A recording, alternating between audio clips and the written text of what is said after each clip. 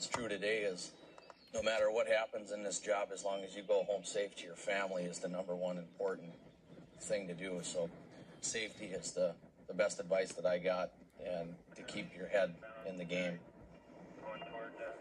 Uh, we're responding to a call here where the black male on a bicycle is trying to lure a 12 year old uh, girl um, away from her mom. Is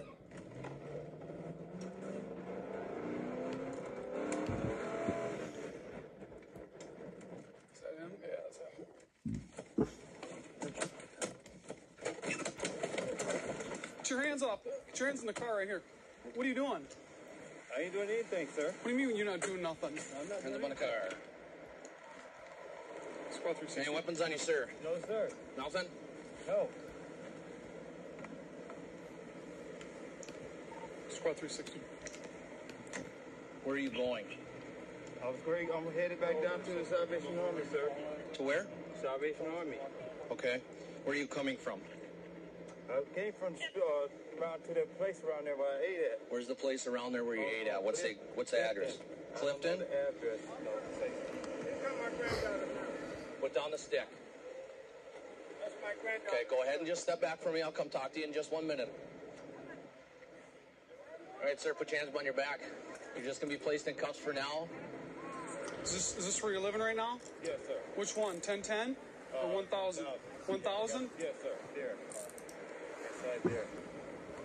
Sir, come here this way. Just for now, you're being detained while we investigate the call that's going on, okay? What? We're investigating alluring. Uh, luring. Yep, you know what that is? Uh, That means somebody is trying to.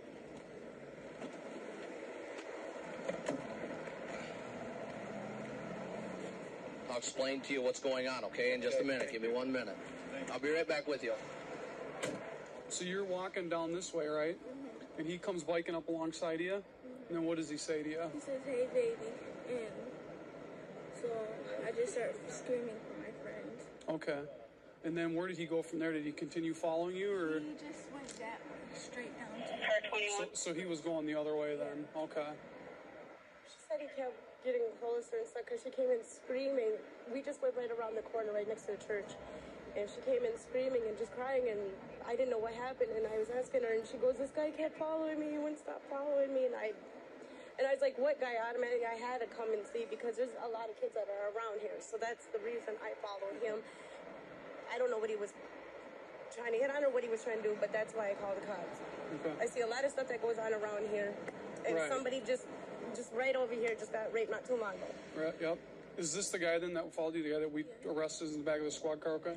Is that the bike that we have over there? Is that his? Did you see it? Did he have that pack on him still and everything? Okay. Okay. So just so I got it straight, you're walking down Portland Avenue on this side, so you're on the east side of the street, and he's biking going northbound, right? Mm-hmm. And he, Well, he was coming this way, then he turned around. oh, so then he turned around, okay, and then started going back the other way. Mm-hmm. Okay, and then he comes up and he says, Hey, baby. Hey, baby, to you? Okay.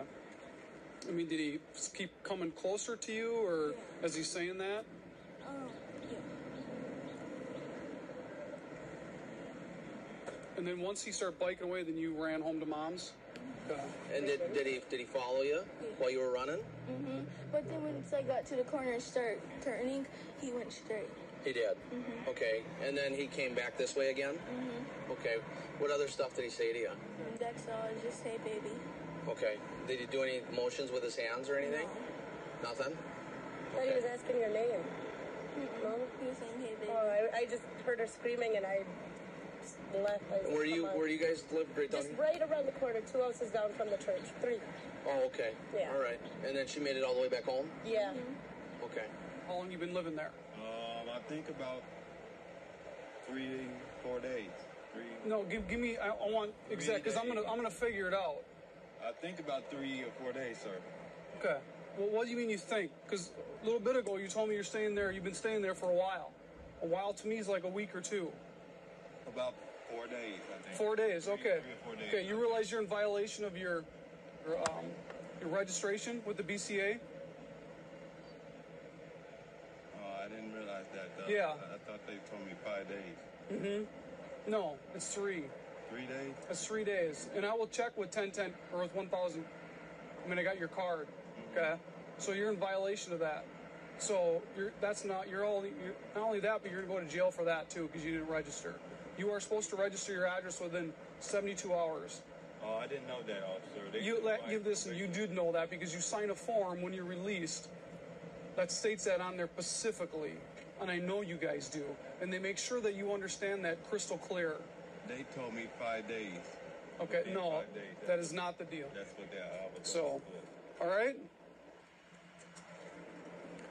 Well, I just went and spoke to some of the other officers there, and uh, they just informed me that he is a registered sex offender.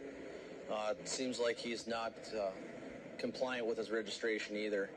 I'm going to go talk to him some more and see uh, what else happened here. If you want to go talk to the victim's family also. Alrighty. We appreciate you guys calling us. You know, he's going to jail. He's a bad guy. We're getting off the street.